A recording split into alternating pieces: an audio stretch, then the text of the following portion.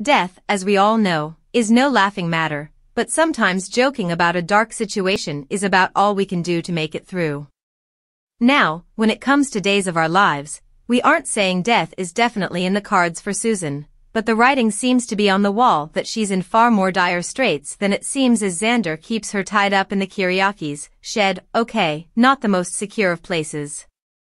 Susan's probably right to doubt his claims that she's trapped somewhere with two feet thick soundproof walls. Especially as he leaves through the rickety wooden door to talk to make a call. It's only day one, of course, but so far Susan doesn't seem to have any idea of her captor's identity, though Mastermind Ava already tipped EJ off to her own involvement. Xander, at least, is smart enough to wear gloves, rubber ones, a mask, from a creepy clown costume, and change his voice, with a not too shabby accent to boot. And even as Xander's put himself back in a situation where his life and relationship could be circling the toilet and Susan's life could be cut short at any moment, Paul Telfer is having plenty of fun with the whole setup, when a fan on Twitter pointed out that the closed captioning presented his clown voice as an American accent, the Scottish actor was tickled pink, did they, he tweeted in reply. That's hilarious.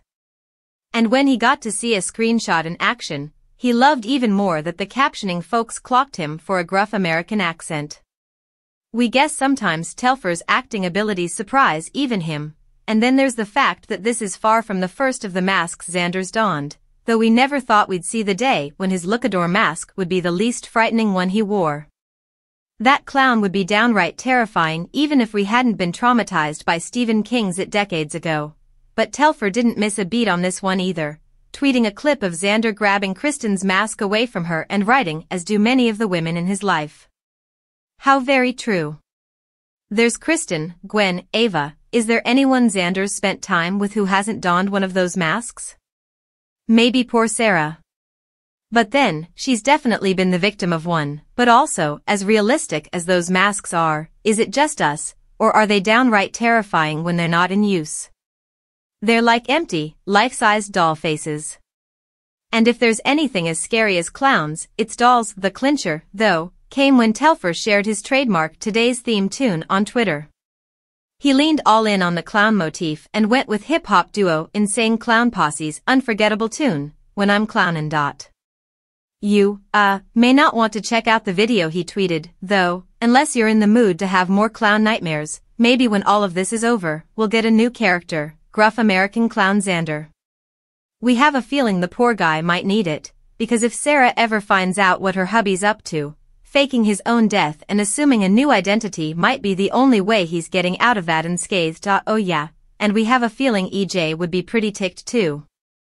No wonder Telfer's having so much fun with this.